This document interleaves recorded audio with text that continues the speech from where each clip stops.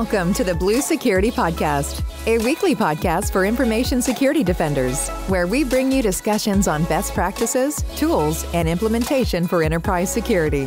Now, here are your hosts for today's show Andy Jaw and Adam Brewer. Welcome to another episode of the Blue Security Podcast. I'm Andy, your host. And I'm Adam, your co host. So, we have a really good conversation lined up tonight. This was prompted by a couple of things that I do to try to help out in the community. I do a lot of mentoring for new folks who are coming in to cybersecurity.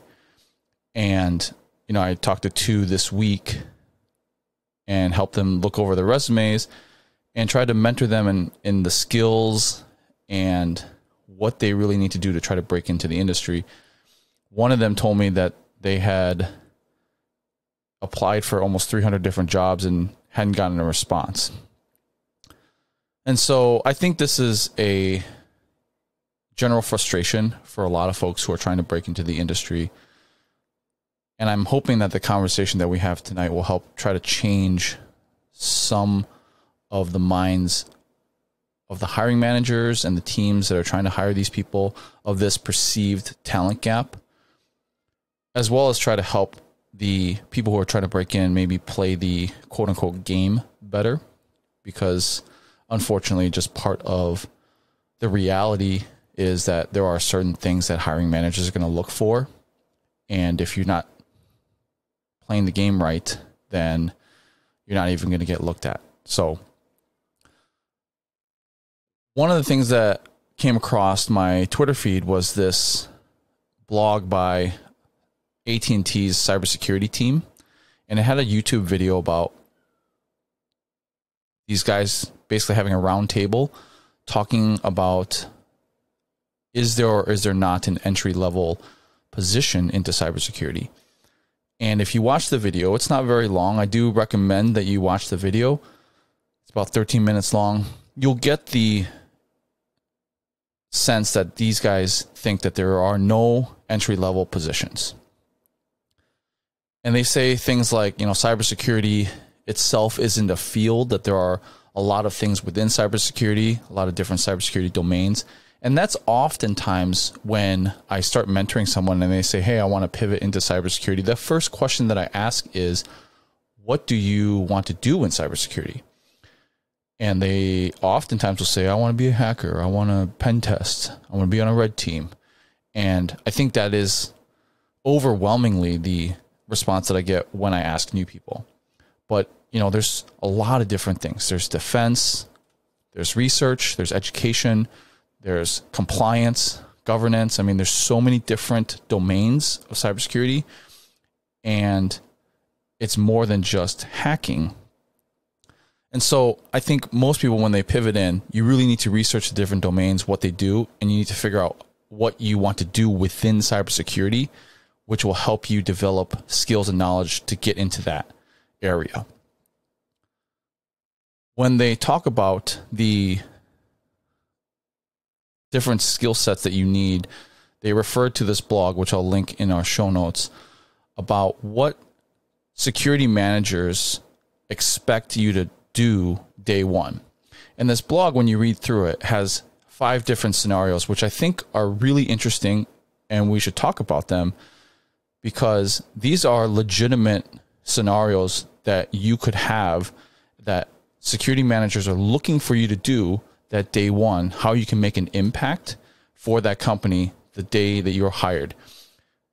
No ramp up needed. You know, you need, you have these skills already. So I'll just read a couple of the scenarios for you.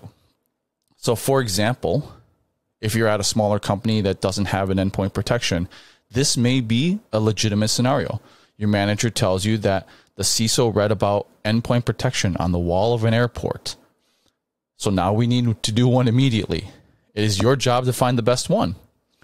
This happens all the time. Now, maybe take it as a different product, maybe not endpoint protection, maybe it's secure email gateway, or maybe it's an identity provider, or it's a network detection and response tool. Insert whatever tool. We need it now. Find the best one and implement it, right? And so that's a legitimate scenario. Do you have the skills necessary today if I were to hand you that task to do that. Another one that I wanted to highlight is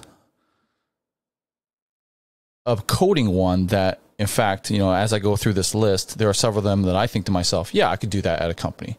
When I got to this one on the list, I was thinking, no, I don't think I can handle this one. So this one is your group has gotten access to a new domain blacklist and it has a pretty well documented API. But now that makes five total blacklists that your team is subscribed to. Your team lead asks you to create a single internal API that queries all of them with extremely fast performance. And I thought, well, I'm not a really good coder. I don't think I could create this without a lot of effort. So, suffice to say that there are a lot of skill sets that are needed within cybersecurity, and you may not be an expert on all of them, but these are legitimate scenarios that hiring managers are looking for. And I thought it would be good to at least think about that in the fact that if you read these and you're like, yeah, I could do that today and I don't have any experience. Well, hey, you could do the role, right? You could be in the role to do this API creation if you had good coding skills or you're self taught or whatever. Or maybe you're like me and you are able to talk to vendors and find the best endpoint protection and implement that. I think reading through this list of scenarios and thinking about it as someone coming into cybersecurity with legitimate scenarios that you could think to yourself, could I or could I not do this? is a good exercise. Andy, when we were talking about this in the pre show, my first response to this is that this is gatekeeping.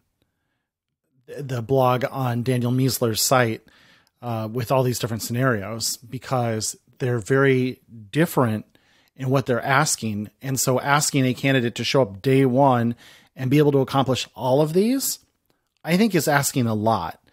And, you know, at some point, I think during this conversation, we need to define what we're even talking about by quote unquote entry level. But that was my first response. But as we talk through it, you said this could serve as an example for skills you may have from another role that you've been in. For example, the coding example you just gave, or being able to work with vendors, that translates across many different IT disciplines and being able to do that for security tooling is very valuable as well because there's a lot of security vendors with a lot of Salesforce folks out there uh, trying to land their product. Hi. And um, so I think from that perspective of looking through that list and going, oh, I could do that. Oh, I could do that. That shows you that cybersecurity isn't necessarily, you know, all red hat hacking, you know, typing on the keyboard really fast, like in a Hollywood movie, as the Matrix code, you know, moves across your face. Like there's there's more to it than that, and there's a lot of different skills needed. What I did love about Daniel Daniel Miessler's blog here was he called out soft skills as and we're big fans of soft skills on the Blue Security podcast, and we have talked about many many times the value of being able to be persuasive, to be able to communicate effectively. And he gets into a bit of that as well. He talks about the value of in in his blog being able to write succinctly, which is a something I'm still working on, but being able to write succinctly and clearly because clear writing shows clear thinking. And I agree with that 100%. So I think after we talk through it, kind of aligned to a lot of what he was getting at and a lot of what he was thinking. The one thing I'll say on the note of you know cybersecurity itself isn't a field. Like there's different domains and you should have an idea what you want to do first. That's hard. I will tell you a personal story that i went to college uh, to get a management information systems degree which is an mis degree through the college of business at iowa state university. And it's a good program and i remember going to the career fair and these different companies asked me like what do you want to do in it and i had no clue like I'd gone through this program, I'd even interned and done an internship with a lot of hands-on experience for Hy-Vee, which is a major upper Midwest grocery chain. And my internship was drive around to all these stores and do technology upgrades by yourself with nobody looking over your shoulder. Install network switches, install um, wireless switches, uh, reimage servers, update BIOS and servers, reinstall Exchange Server, all sorts of different stuff, do Windows mobile devices. It was crazy what all we did. A lot of hand-on experience, and I still got done with that in, that internship and got out of college and didn't even know like the different disciplines of IT. So I think it's okay too if you don't know what those are yet.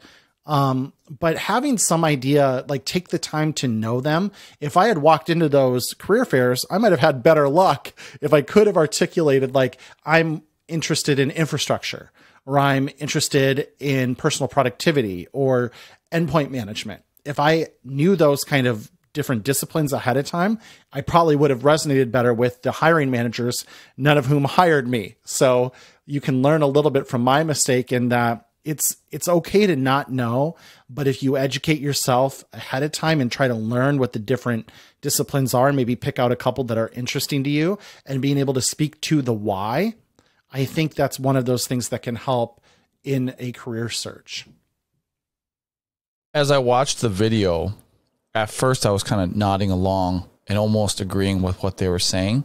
But then as they started to get into it, I started to disagree more and more with what their line of thinking was, where it was more of a, a legacy way of thinking about cybersecurity, especially when, you know, one of the guys said, Hey, maybe you need to pay your dues somewhere and, and learn like an entry level IT job. I do believe that you need certain skills, and we have talked about this on a different podcast the amount of technical knowledge that you need to get into cybersecurity, which is why a lot of people think it's not an entry level job. There is a link that they talked about the different pathways uh, in the video, and they show different feeder jobs that can go into cybersecurity where they talk about maybe you're in a related field like sysadmin or networking or a developer and then you get into cybersecurity and you take those skills that you t- learn from another feeder role into cybersecurity. So maybe a developer will turn into an AppSec person, or sysadmin will turn into like a device management, uh, you know, security person, something like that. But I believe that there are a lot of ways to get that type of experience nowadays. Like Adam, you talked about not knowing back then the different parts of IT, or maybe people nowadays don't know where to start. But information is all out there now. I think a lot of people can research this stuff on their own and learn about the different domains and different areas of IT if you're not certain. And that's part of being in cybersecurity or being in IT in general is looking stuff up. I can't tell you how many times I talk to my mentees and say, I don't know everything. The amount of time that in the day that I look something up on the internet is, I mean, handful to like maybe, you know, 20, 25 times a day. Um, so, you know, there's different ways to get that experience today and to demonstrate your excellence in that. If you're a developer, you can publish your code on GitHub. If you're doing some sort of IT work on the side, you can publish blogs. And unfortunately, I think certifications is still a big part of kind of escalating your resume to the top of the pile. It's it's just part of the game like I talked about where, you know, maybe there's an automated resume scanner that's looking for keywords and they'll pick up on a certification or something like that. So, there was another article that I read about the top security certs that are kind of out there. I still think an entry level one that's really good is the Security Plus We've talked about Microsoft certifications being really good as well because a lot of people use Microsoft products and on the cost level, they're usually a lot cheaper than a lot of the other certs that are out there. The one in the articles that they mentioned were all SANS certifications, like the Incident Handler and the GIAC certified forensic analysis uh, certifications. I mean, SANS courses are super expensive. They're like three thousand dollars in order to take their certs, uh, whereas like a Microsoft cert is like one hundred and sixty dollars or something like that. Security Plus is like three hundred dollars. There's another one that I wanted to mention, which is Blue Team. Blue Team has a really good practical exam at the end, um, and same thing with the TCM Security. There's a practical network penetration penetration tester certification as well, which has a practical test. And I think those demonstrate at least when you get the cert, that you have the capabilities to get through an actual practical. The OSCP is oftentimes kind of the gold standard for offensive uh, security, and those will also have a practical as well. So, I mean, those are some of the certifications. There's a ton out there, but having one or two of those on your resume will never hurt. It always kind of just elevates you to that top of the pile and maybe will get you that call from the recruiter. I really liked this link that's going to be in the show notes on cyberseek.org with the pathways to cybersecurity because cybersecurity is a really it's not a discipline, it's interdisciplinary. It's a cross discipline where you need to be skilled in multiple different areas. I think that's what how I kind of fell into it by accident because I really wasn't good at any one thing, but I know a little bit about everything. And and that's kind of been always my kind of technical background is I can I can speak some networking and I can speak some like scripting and I understand, you know, fundamental composition of operating systems and really even the history of operating systems, which sometimes is relevant when you're trying to break them. And so what I liked about that pathways to cybersecurity is it showed like here's the different fields you can kind of come out of and that gets you experience in one or more disciplines from which you can move into cybersecurity and start to, you know, broaden your horizons. So I like that. I also and and it sounds like I'm taking a position here, which maybe I am, but I also just just like that mindset in in that because it's not it's it's more interdisciplinary you, you have to kind of get some experience in some of those feeder roles first. So I guess it sounds like I'm agreeing that maybe it's not entry level, but I think just in the sense of there, there's more than one way to build that experience, but you do need to demonstrate that in some way, shape, or form first. You can't show up and say, "Well, I know nothing about technology," um, and and be successful. I mean, there's some roles you can even do maybe that you still could, but anyhow, I like the pathways. Check that out. I thought that was good on, on the subject of like demonstrating your competency, I love kind of talking about like showing these side projects as far as GitHub or publishing blogs. I mean, to be honest, not that I want to encourage everybody to go start a podcast because there's a ton of them out there and it's it's really hard and time consuming to to do. Andy and I can both tell you that.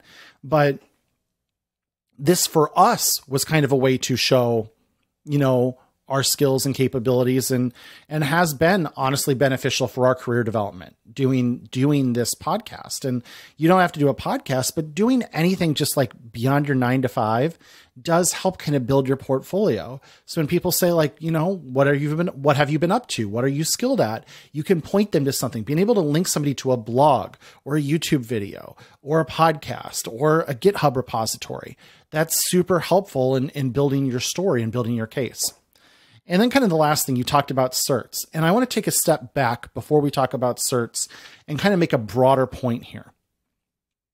And that is about pragmatism versus idealism. Okay. There is an idealism that a lot of cybersecurity hiring and the way we think about it is wrong and it needs to change. And Andy and I are both on that train. Cybersecurity hiring has some room to grow, to put it mildly. However, sometimes you have to work within the system as it exists today, and that's pragmatism. And so I saw something really funny on LinkedIn the other day, and I sent it to Andy. And basically, the the gist of the joke was your attackers don't have certifications. You know, the guys breaking in, guys or gals, um, or non-binary people who are breaking into your network and and you know stealing your stuff or or encrypting your stuff. They don't have certs. You know, so why why do you as a defender need to have certs? Well, I mean, certs are dumb. Certs are a money making industry. Blah blah blah. We can have all these idealistic takes on certs, but Andy's right in the sense that when you are trying to pass through these initial gatekeeper algorithms, anything you can put on your resume to to you know win the bonus round and move to the next level helps you. And so again, idealistic Adam says certs are dumb and they should go away. Pragmatic Adam says you're going to need certs potentially to get your foot in the door or to get started in the industry. Don't go crazy with them. I think something as modest as Security Plus is helpful and gives you that little tiebreaker edge. And Andy already had a great discussion on those, so I have nothing to add there. But I do just want to say, like, anytime you're feeling that idealism rise up in the back of your throat, and you want to get upset at the world for the way it is, fight the man. Let's get everybody to do better. Let's improve hiring. Heck yeah, on board with that. But if you need a job, sometimes you got to address the job market head on as it exists today. And there are some problems with it, but instead of fighting that, try to figure out the way to win at that. Try to figure out the way to to win within that existing construct, no matter how much you personally think it's stupid. Yeah, well said. And as you were talking, it, it almost felt like you were thinking that there wasn't an entry level job. I, I do think that there are some entry level positions where you could walk onto the job with virtually no knowledge about kind of computing and how it works. And that would be probably like a SOC analyst where you're just kind of triaging alerts and making sure that, you know, if this is an alert that needs to be escalated to the next team to investigate further, you know, that level one SOC analyst where it's a a shift role maybe where it's not even a 9 to 5, maybe you're working the graveyard shift. You know, they that may be an entry level position where you're taught a specific system, how to triage alerts, what to look for, and you might not have to have a deep knowledge of all of these other IT things like Active Directory or identity or specifically how to architecture, you know, different servers together. Maybe you just need to know what the alert looks like and in the alert will have different language and you're triaging that. So there are ways I think you can build that, and if you succeed in that, maybe you'll get to a next role. But like Adam said, day one, either you have the knowledge or you don't, and whether I think when you talk about demonstrating that knowledge to a hiring manager, that's where the process needs to change, right? I think hiring managers need to have a better way of thinking about what they're looking for instead of seeing someone on their resume not have the experience or whatever and just dismissing them right away. So there was another article that I read that talked about how if you're having trouble finding the right talent, maybe you're part of the problem. We have over 500,000 open positions in cybersecurity. That sounds crazy just to say. And a lot of people talk about this talent shortage or this skill gap. But I think if you watch that video that I talked about in the beginning and this legacy way of thinking, it's that narrow mindset of who can excel in the field that really starts to create roadblocks for people who don't fit that traditional mold.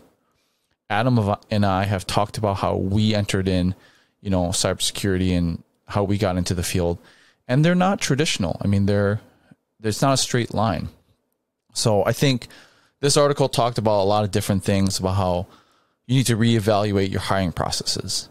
How a lot of hiring panels may just have one type of person and you know a mold of that type of person and that's similar to me bias like you want someone who's from a similar background or who looks like you who will be a cultural fit instead of like what they can contribute culturally to the team so adam has a great talking track on this about building a, a diverse team, but I think this is absolutely necessary to think about candidates who come from different backgrounds and what they can bring to your team because hey, we're still getting breaches. We're still getting hacked. And what we're doing may be just a result of everyone's thinking the same thing and we've just been going down the same path. And if you bring some new blood to the team, some new talents, people who haven't had that same way of looking at it, then maybe they have a brand new idea that we haven't tried before, right?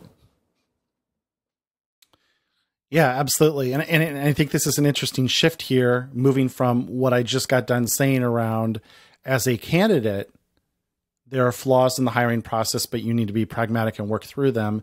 And now we have kind of shifted the lens to those doing the hiring what are those ways you could be better? What are those things to consider? And talking about, again, I've made this point many times on the show, so I'm not going to like completely repeat myself, but attackers are diverse. And so we need teams that are diverse to protect against them because our attackers are not all um, white American males in their 30s and 40s. So, and Andy, I think we've talked about this as well. The whole how's that working out for you thing You know, we, we have traditionally cybersecurity has been, you know, in this country, white American males um, who all subscribe to a best of breed strategy of buying different solutions from different vendors and buying the hot vendor for each solution. And, you know, how's that working out for you? Kind of question is, is a good one to ask at this point. We, we have room to grow in cybersecurity and room to improve. And I think this is one of the ways building a diverse team that can really, really help. And uh, when you think about the the talent shortage, you know, that predated all of the conversation we're having today now, kind of in the middle of and, and slash post COVID, where we've heard phrases like the great resignation or the great reshuffle, as Microsoft and Lincoln, LinkedIn refer to it. But everybody's having trouble hiring now. But cybersecurity, that problem predated the pandemic. That was happening before then. And so certainly it hasn't gotten any easier and finding ways to different ways to find talent, to bring talent up to speed are, are going to be critical uh, for companies to succeed moving forward. Um, because for a lot of companies today, as, as I talk to them, as I talk to my different customers, the message I get over and over, which really frightens me, is they can't manage the tools they have today. They can't keep up with the workload of today and they can't find any help or they don't have budget to get help. And I am concerned as the threats are only growing to going to grow and intensify if we can't keep up with what we're doing today. So, you know, not a lot to add here. I think Andy, you've you've got even more to kind of talk through um, as far as things to look at, as far as the hiring process and everything else. Um, but this is an area where we have to do better.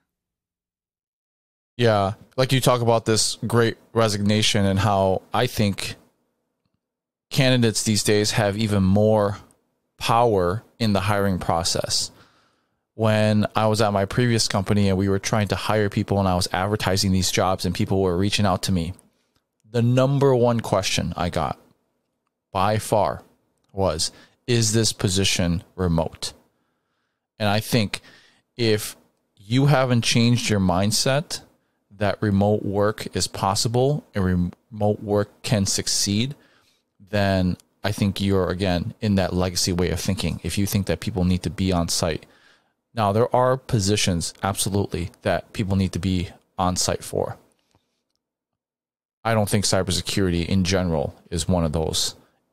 Across the board, I think for the majority of positions in the domain, maybe for a SOC analyst, uh, in a secure environment. You need to actually be in the SOC. But for the majority of positions, security architects, researchers, all that stuff can be done remote. And so I think if you're still requiring people to be on site, you're going to be one of those people who are going to be looking for help for a very, very long time. As well as, you know, be prepared to answer questions that may ask about your team, your culture, because it's about how the candidate feels about the company and their values. I think that that is becoming more and more important. It's almost like the candidate is interviewing the company instead of you interviewing the candidate. So, how you answer some of their questions, like, for example, what is the composition of your team by race and gender? What is the company's philosophy on work life balance? Will I be the only non binary person on your team. And how you answer those questions when they come at you is going to be very important. The tone that you take is going to be just as important as the content that you're that you're giving to them. So be prepared for those and to think about how you can be more diverse as well as, you know, looking at people's backgrounds. Maybe you should start rethinking degree requirements or the pedigree that they come from, right? Some of the best people in the industry in cybersecurity do not have a high school degree, they don't have a college degree. As a hiring manager, you can give recruiters explicit guidance on what is required for the position. One of the things that my former boss did was he said that the degree associated with the position could be a non technical degree. So instead of saying that it had to be a engineering degree or a cybersecurity degree, I think he put in their business degree. And I actually had a person who was questioning me when I posted the position. He's like, "Why does this? Why does this job description have a business degree?" And I didn't know either. So I went to my boss and asked him, and he said, I put that in there because I really wanted to widen the pipeline for people who were trying to apply for the position. And I think, you know, that's that kind of thinking. Maybe even go a little bit further. No degree at all, maybe just work experience could count. I've seen that in job descriptions. But, you know, think about different job descriptions and how you can widen that pipeline. And Another thing is, as I was in the industry and trying to move up, compensation has definitely been a difficult topic to broach. First off, if you're a hiring manager, definitely don't ask about previous comp- compensation because number one, it's banned in several states. But if you make an offer based on their past compensation, it can undervalue candidates who may come from a non-traditional background. And I think that that is really important. Like you should think about the candidate's skills and what they can bring to your team and make a offer based on that, right? So obviously I know that within certain HR requirements there are pay bands that you probably have to stay within. But try to be flexible. Like at my previous company, again, we had a guy who was interviewing for a, a compliance analyst position as part part of our cybersecurity team, and he was so good that my manager decided to pull forward a rec that we hadn't even posted yet for the compliance manager, and offered him the position for the compliance manager position instead. So it's those type of things that you're making an offer based on what the candidate can do for your team instead of you know based on their past experience and their their past compensation i love having a business degree uh, having so at iowa state in the college of business you and i assume this is similar to a lot of, a lot of other college businesses you end up taking 300 level courses in like every different specialty of the college. So I took a class in operations. I took a, a, class in logistics and supply chain management, a class in marketing, a class in accounting, a class in finance. And to me, when I was in IT and today at Microsoft, is very valuable to have a really solid understanding of how accounting works, how finance works, uh, how logistics works, how operations works, being able to speak that language. I mean, just one 300 level class, but still really, really valuable. And I think that's a great example of something. I love hearing that that your former uh, boss, Andy, you know, open it up to folks like that because I think that's a ton of helpful knowledge. IT at, at the end of the day exists to serve the business. So having the knowledge of all those different business components is super valuable. And I will say, the best team I was ever on the highest performing team that accomplished more than any other team I've ever been on was me and two other gentlemen. All of us now, by the way, work for Microsoft, uh, but it was me, an MIS major. It was another gentleman who had a, and so mine's from an engineering school, Iowa State. The next one was a music major from a private liberal arts college. And the third one had no degree at all. And between the three of us, vastly different educational backgrounds, we achieved more than just any other team I've ever worked on. It was phenomenal. Just a great team of of people that worked super well together. And that just like highlighted to me right there like education can be a helpful determining factor in in potential success, but it is by no means like should be a gate preventing other people from getting in the door. And and one of my um one of my best friends from high school uh, you know, found out that like college really wasn't for him. I mean, he's a super smart guy, like could have done it if he wanted to, but just wasn't his jam. And and today he's you know a technical specialist um, in in technical sales and doing fantastic for himself, like and just phenomenal guy and phenomenal talent. And it no longer matters. And I think that's a, something the industry has done really well on is almost universally at, at like big tech companies, at least like the college degree requirement's kind of gone. If you can prove that you've got the talent in other ways, you know, they'll, they'll take you on. If you can prove you've got the history and, and the, the job performance, you know, it, it becomes not a concern anymore. So I, I love everything you kind of talked through here, Andy. Um, and, and then the other thing too about, you know, candidates having leverage at this point in the hiring process. Absolutely. And by the way, that's a pro tip to anyone that is out there interviewing. You should be interviewing the company you are trying to get in the door with. You should be vetting them. And even if you pass through the whole process and they want to hire you, maybe you don't want to go work for them. And that's okay, by the way. It is a two way street of vetting. Get it out of your head if you've ever had it in your head that it's one way because it's not. And and I think really today it's both sides should be trying to determine if it's a good fit. And I think the the best hiring managers I've worked for have always understood that. Like it's always been more of a conversation around, well, you know, we'd like to bring you on board the team, but what do you think? You know, is this a place you can see yourself working? Do you have any questions or concerns about the culture, the expectations of the job? And when you treat it that way as a two way vetting process, I think that's way, way, way more powerful too. So make sure you know as a candidate, you have power as well. Do not feel powerless and beholden to these companies, especially today when everyone needs help.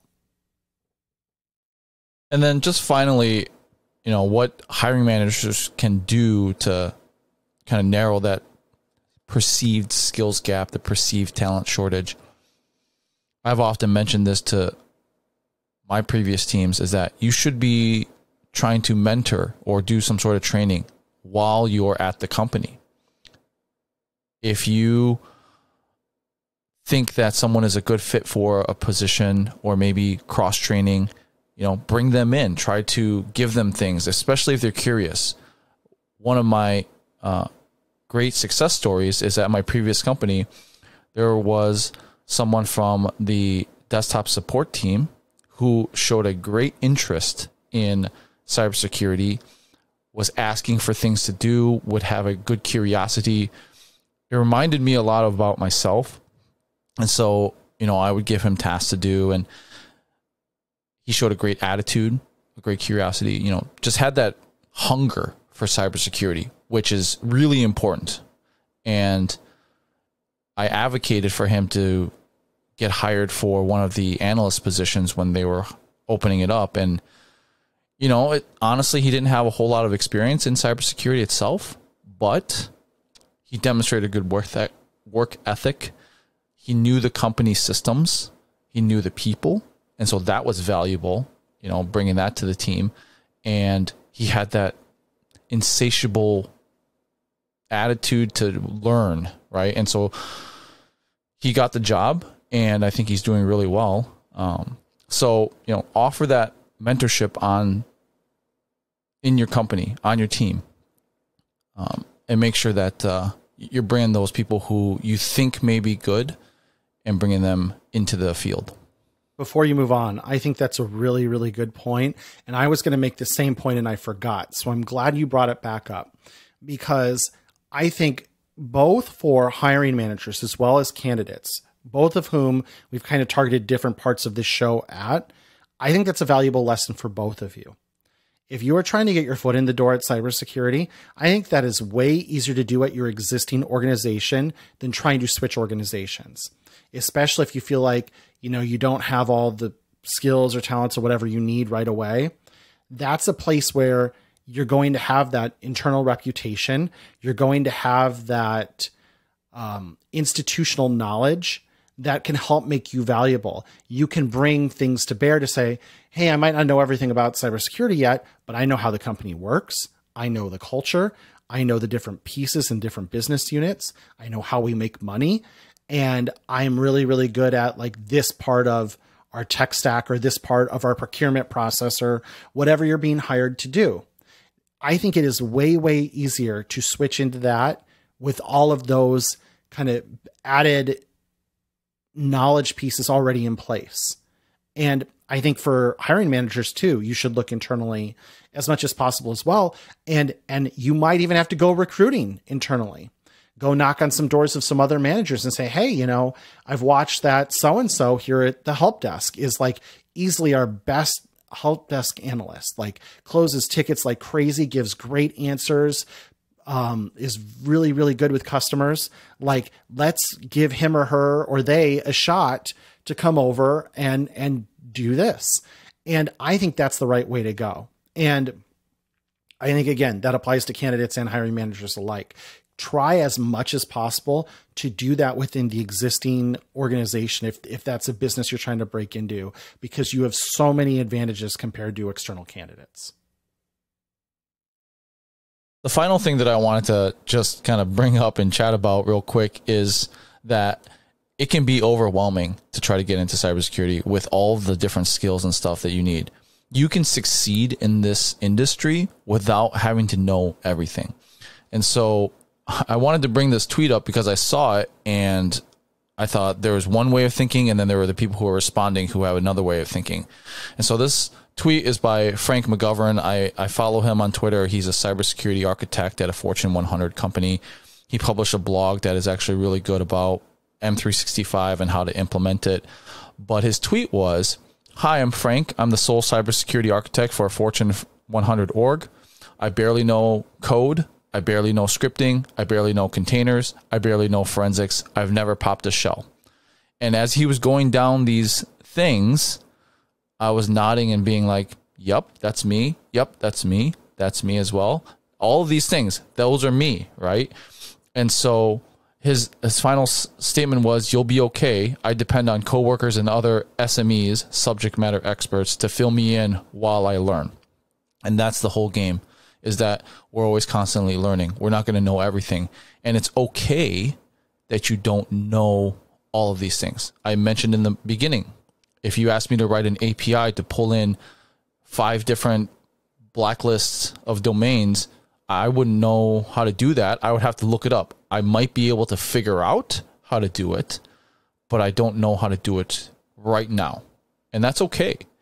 Uh, I just deployed my first container a couple of weeks ago. I didn't even really know what containers were versus VMs. I had a general concept, but I just deployed my first one just a couple of weeks ago. So these things are major, broad topics. And then what happened was when he tweeted this, there was this guy and, and also a couple other ones who had this attitude of this is why we have problems in cybersecurity. There's people at the top who don't know what they're doing when you know a technical guy like myself comes in and we got to clean it up or this is why companies are getting popped that sort of stuff and you know i think that's the wrong attitude because it takes a village right that's the that's the saying it takes a village to to raise a child. I mean, it takes a village to keep a company safe. No one person can do it all. There's obviously a lot of really technical people who know how to pop a shell or who know how to code, who know how to script. But you don't necessarily need to know that to be in cybersecurity. For example, Cisco ASAs and Cisco firewalls are pretty common in the industry.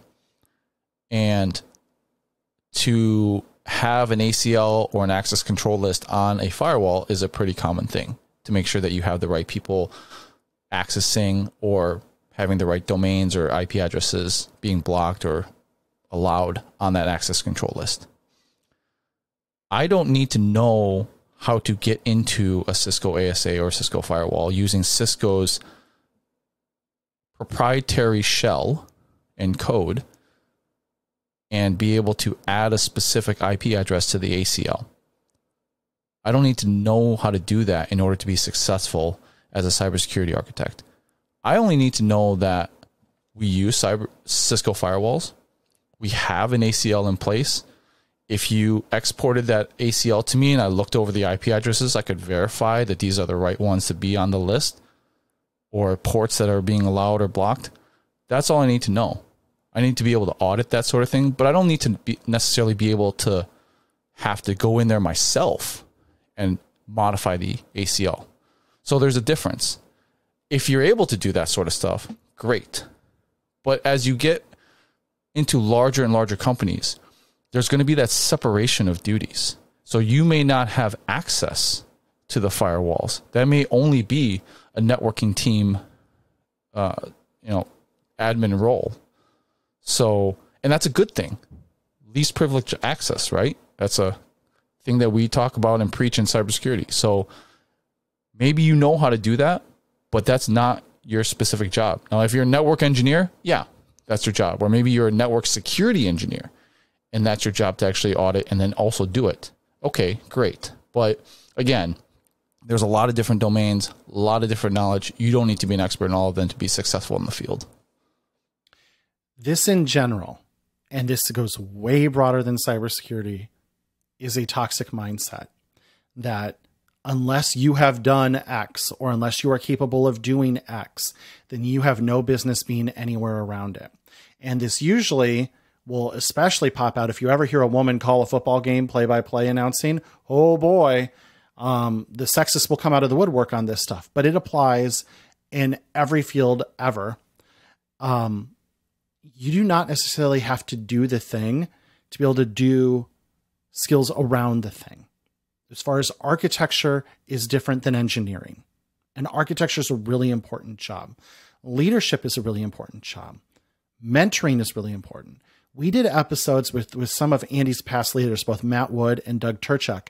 And if you go listen to Doug's episode in particular, he walks you through as, as a cybersecurity leader, like what he thinks about and what he's trying to accomplish. And the things that keep him up at night, to use a tired phrase, or the things that he's working on require very different skills than popping a shell. You know, and it doesn't mean that Doug has no business doing what he does. I was very impressed with his thoughtfulness of his answers and the things he was trying to accomplish and how he's trying to accomplish them. It's a different skill set. And so, in whatever business we're talking about, just because you can't do a thing doesn't mean you're not qualified to be around the thing in other ways because there's more than one way to look at it and there's more than one skill involved in, in building a team and putting it together. You know, a lot of the great you know, again, sports analysts, like never played the game, like a, a, Tim Kurkjian at ESPN who does all their baseball analysts. Like he never played baseball, but he's a really good writer. He's a really good on television. He's really good analyst. Like you don't have to play baseball to know how to analyze baseball. And like, that's just using a totally off the wall example to illustrate the absurdity here when people say things like that. I bet Frank McGovern is a great cybersecurity architect because his brain isn't filled with all of that stuff and he can focus on the things that matter.